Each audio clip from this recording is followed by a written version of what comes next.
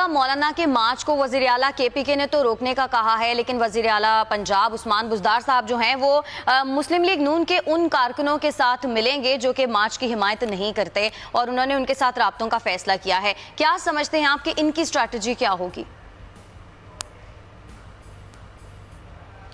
मेरे ख्याल में एक तरीक़ाकार अख्तियार किया जाएगा जिस तरह से माजी के तजर्बात हैं उनको हम्म। पेश नज़र रखा जाएगा पार्टियों के अंदर तोड़ फोड़ की कोशिश की जाएगी और पार्टियों में जो है एक मुजामतकार ग्रुप होगा, उसको अलग कर दिया जाएगा और उसको हुकूमत टारगेट करेगी। एक सुलहजू ग्रुप होगा और एक ऐसा होगा कि जनाब जो कहेगा कि मैं समझौता कर लेता हूँ, समझौतेबाज ग्रुप और मुजामतकार ग्रुप के दरमियान फासले होंगे और जो समझौता करना चाहेगा उससे उस्मान बुजदार साहब भी और कोई और भी चाहेगा तो उनके साथ समझौता कर लेगा। लेकिन बहुत, इस वक्त बहुत मुश्किल होगा क्योंकि वो सूरत हाल नहीं है कि समझौते बाजों को लोग सीने से लगाते थे तो ये भी समझते थे कि यार अब कौन से इलेक्शन हो रहे हैं और कौन सा जमहूरी अमल चल रहा है।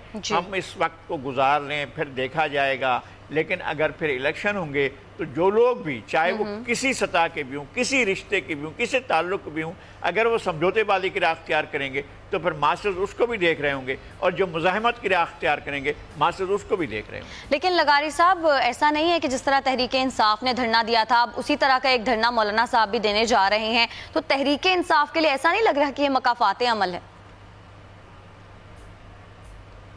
नहीं मकाफात अमल क्या है? उन्होंने तो वहाँ से कहना शुरू कर दिया था आवाज़ें लगाना शुरू कर दी थी कि जनाब हम हुकूमत ख़त्म करने जा रहे हैं। पहुँचने के बाद कहा कि कप्तान ने जो है वो अपने जेब में हाथ डाला हुआ है। अब कप्तान की उंगली उठ अपना आ, उसकी एम्पायर की उंगली उठने हम्म, वाली है एम्पायर की उंगली उठेगी। तो फिर तो अब वो एम्पायर की अब इस ये सूरत हाल यहाँ नहीं है कि कोई ये कह रहा हो कि जनाब अब वो एम्पायर की उंगली उठने का इंतज़ार करेगा।